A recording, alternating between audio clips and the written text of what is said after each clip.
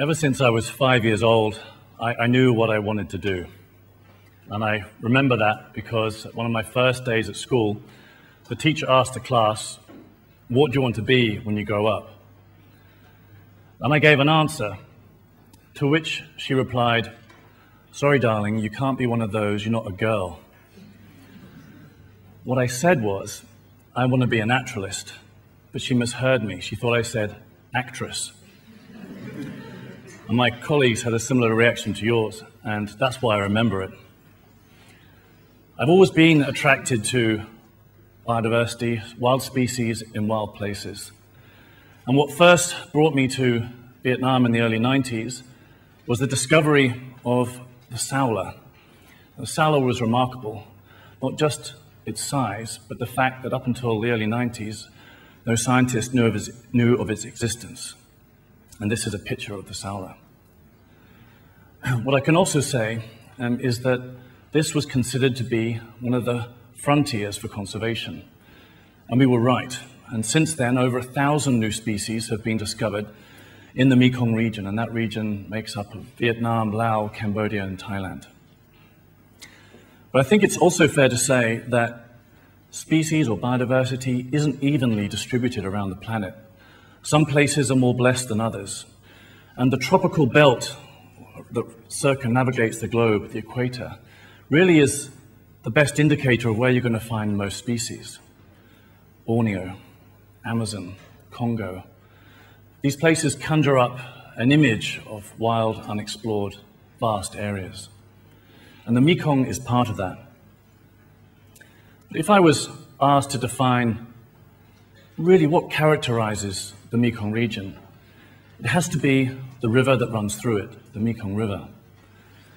It starts its journey in the icy caps of Tibetan Plateau and winds its way down through the lower Mekong countries before finally um, discharging into the sea in Vietnam at the Delta.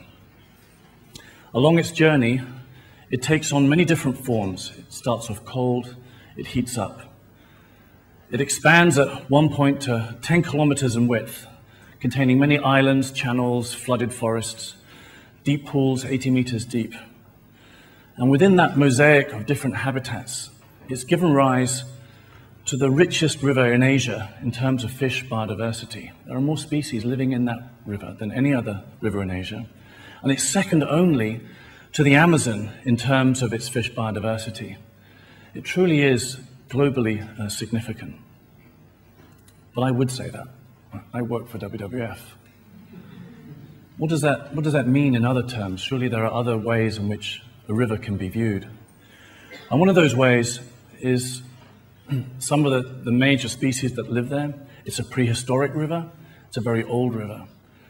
Some of those species that live there are relics of a olden times. It's still free flowing in its lower section, and it has given rise to some truly incredible species, such as the Mekong giant catfish, that weighs up to 300 kilos, but it's a vegetarian. Also, the world's largest freshwater fish, the Mekong giant stingray. This is a baby. This is only two meters in diameter. They get up to five meters in diameter. So it really is a truly extraordinary place. But for the people who live there, seeing these species are rarities. What they see on a daily basis is the fish that they catch and the fish that they eat. 60 million people depend on the Mekong River for daily source of protein or livelihoods, whether they're fishermen or, or consumers of fish. I don't think anywhere on the planet is such a strong link between a river and a people as what we find in the Mekong River. So biodiversity, fish biodiversity, translates directly and affects directly the lives of people who live in the Mekong River. Globally, this is significant. Just have a look at this map here. Um, more fish is coming out of the Mekong region than North America, South America, and Europe combined. It's almost the same as the freshwater catch out of the African subcontinent. So clearly, this river system has something special. It has something that's unique, and it has something that's unique to the people that live there. That's another perspective of the river. Another perspective is that when somebody looks at that river and they see this huge, powerful surge of water, they look at it in terms of energy. and hydropower development. And for the last 50 years, there has been a plan that has been on the table to dam the mainstream of the Mekong in 11 different places, and those are marked here on the map there, the yellow dots. That plan has, has been talked about but not really actioned. Two years ago, it was put into action when the Lao government announced to its downstream neighbors that it intended to build a mainstream dam in northeastern Laos. So now we have a different use of the river. We have a hydropower project that's going to cross the mainstream, and what will the consequences be of that? What I can tell you is that we know today much more than we did 50 years ago about the impacts of dams. And some of those impacts are well documented.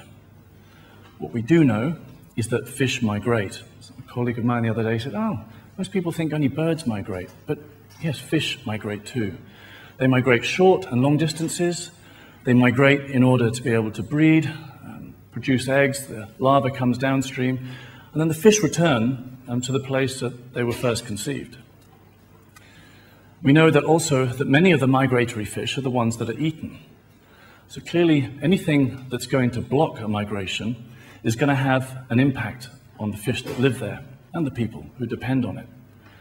We have an example already within the Mekong region, a dam that was built 25, 30 years ago. It's on one of the major tributaries in the Mekong region. It's called the Mun River Dam.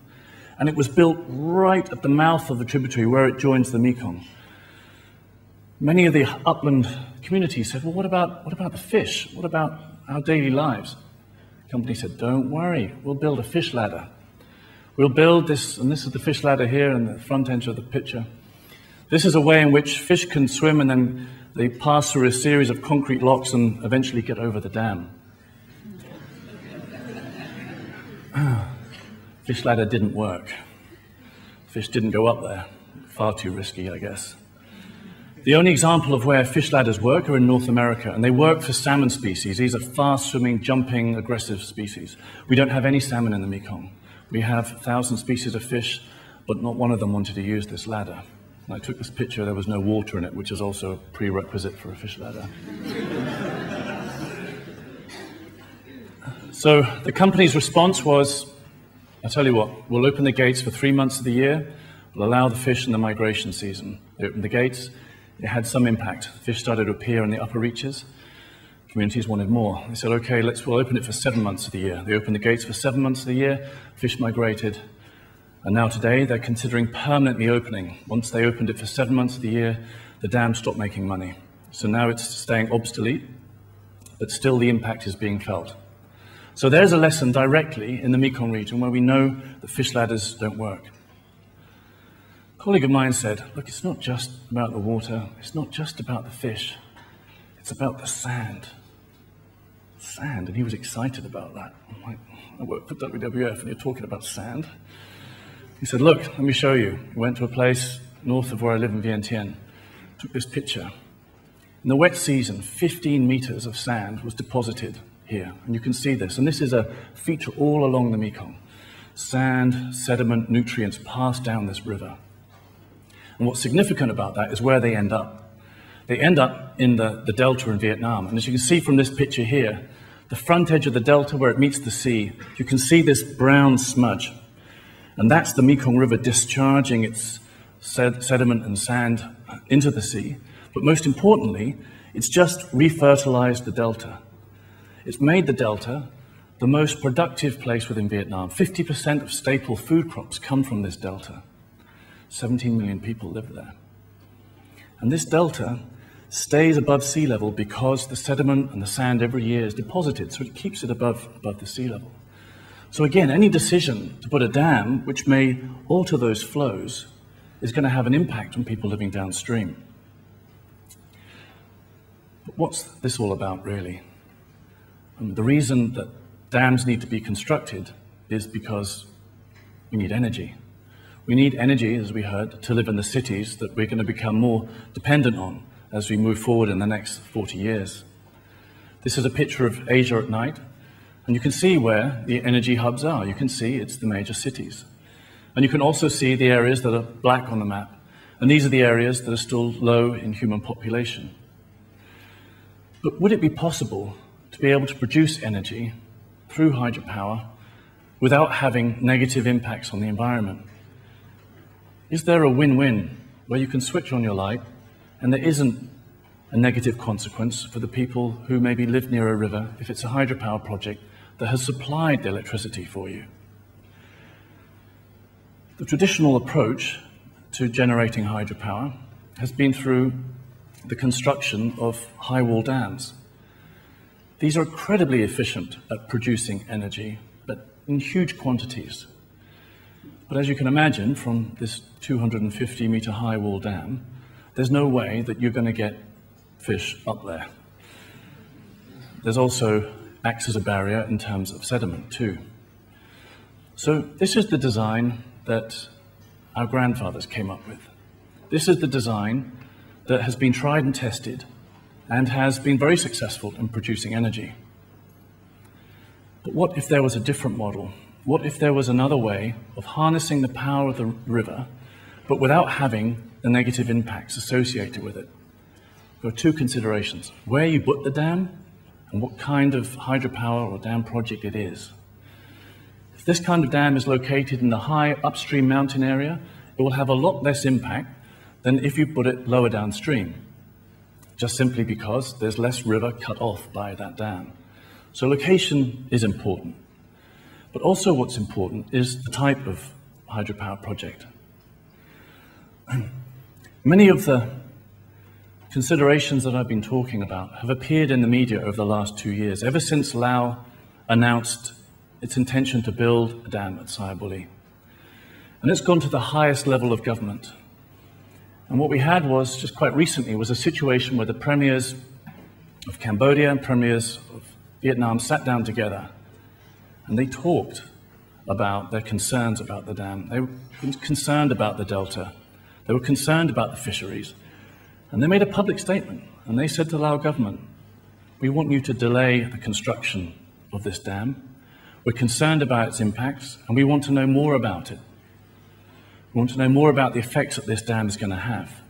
So at the highest level of government, it's been communicated back to the Lao government, please stop, think, let's find out more about the impacts before you go ahead. That creates an opportunity. That creates the opportunity for a win-win, where you have a delay in decision making, but you need to find an alternative. We need to find a solution. And there's a 12th project that is proposed for the Mekong, and it's this one. And what it is, is harnessing the power of the Mekong, but without providing a barrier.